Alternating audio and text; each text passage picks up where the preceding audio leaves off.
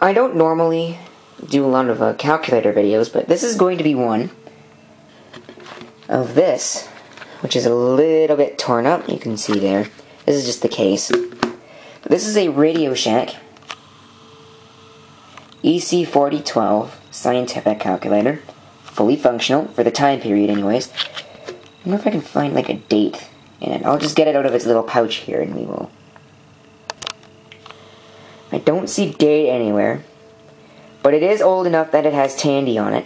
Tandy Corporation. So my guess is late 80s, maybe early 90s. Compare that to today's scientific calculators. This is just an example. Look at the size comparisons. Now then again, this one has a lot more functions on it.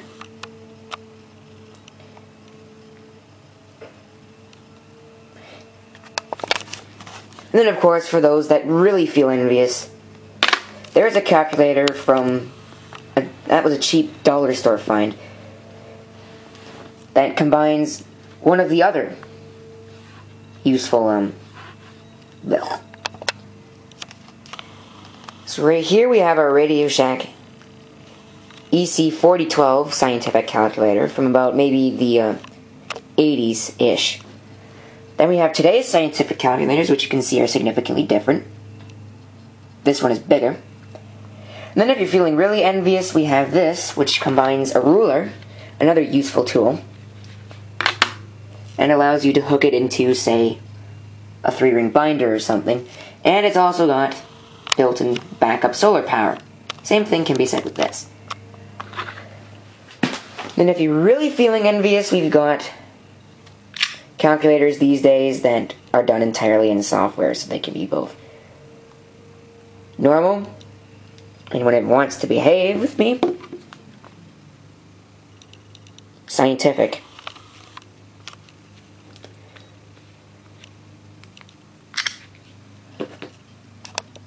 Okay, so let's power this one on. You see it has a single single row display. Displays um believe they would call those hexadecimal, but it's a seven segment display. Then we have this, which has dual line display. One is a whole bunch of pixels, I believe it's a 5 by 5 pixel arrangement, and the other is an 8 segment display. It also has various symbols.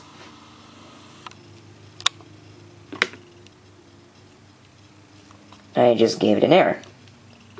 Twice. The second function key is the same, although this one has a shift key, which is basically the same thing. But in addition, the newer calculator has the alpha key, which allows you to enter a whole bunch of letters.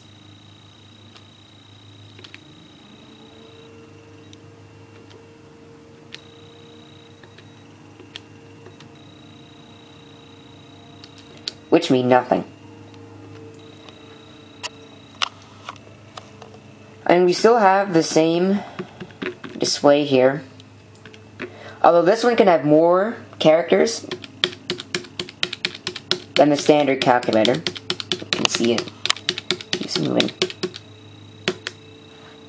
And it displays functions there.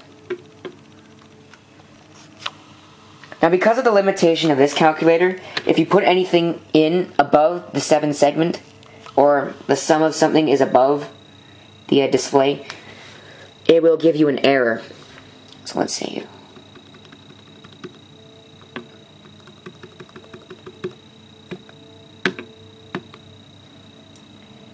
Doesn't give you an error. It gives you a um, scientific format, which is what that is. This will do the same, although you can put in a number of different characters.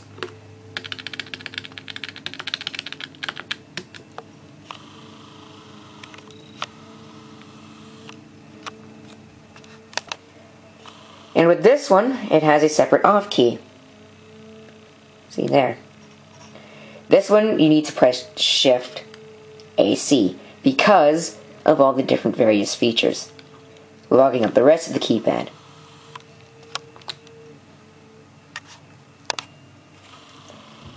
You see that it has various buttons. You have the uh, second function, Stat, for the stat function, or that's the on clear button.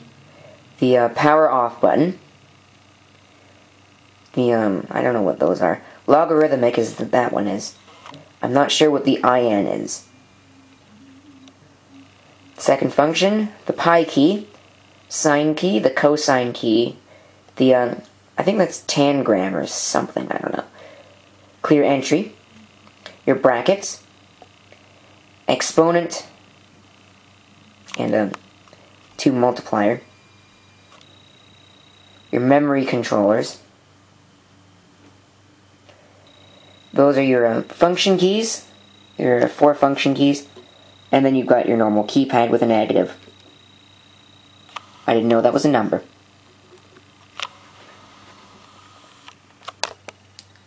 Compared with some of today's calculators, it is astoundingly thin, scientific-wise, actually, to be more specific.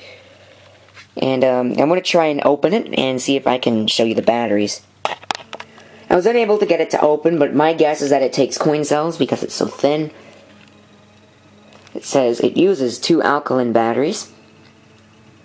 Should probably look up that cat number and see if I can find what it is.